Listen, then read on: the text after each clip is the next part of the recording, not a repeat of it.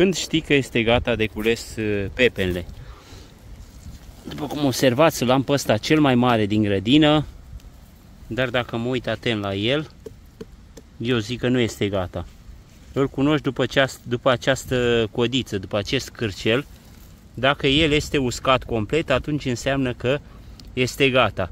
Cum este în cazul acestui pepene, care ăsta este un pic mai micuț, dar el are, cârcelul ăsta îl are uscat complet, după cum observați. E uscat complet, complet, uite-l. E uscat complet și prima frunză care e aici, care uitați-o aici, este uscată, uite că am și rupt-o. Deci când este uscat asta complet, înseamnă că pepenele este gata de recoltat. După lucrul ăsta vă dați seama.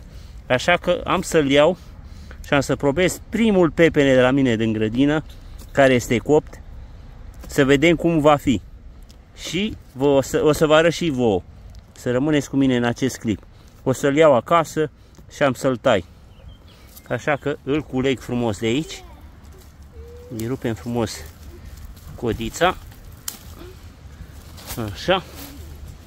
Și luăm pe care vreo 4-5 kg le are, dacă nu mai bine, 5-6 kg, am să-l și cântăresc. Eu, sincer, mă așteptam la ăsta mare, la cel mai mare că e gata, dar văd că încă nu este momentul lui ca să-l culeg, dar abia aștept să-l văd pe ăsta, cum va fi.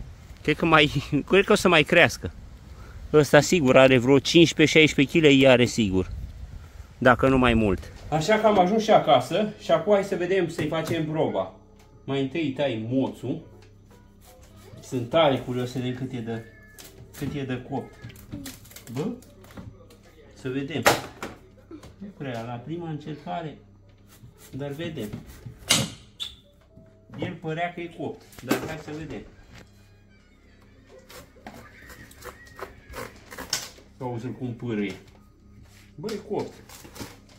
Da, da, da, e copt, e copt. Oh, no. Mai trebuia o leacă, dar e numai bun. Hai că e bun. Mai trebuia o leacă. Da. Sunt curios să-l și gust. Acum păcat că nu puteți să simțiți și voi gustul, dar asta e pepene bio.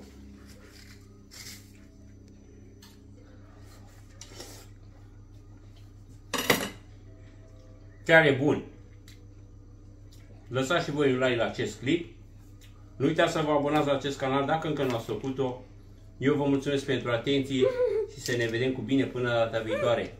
Pa, pa, oameni buni! Pepene Bio! Tata.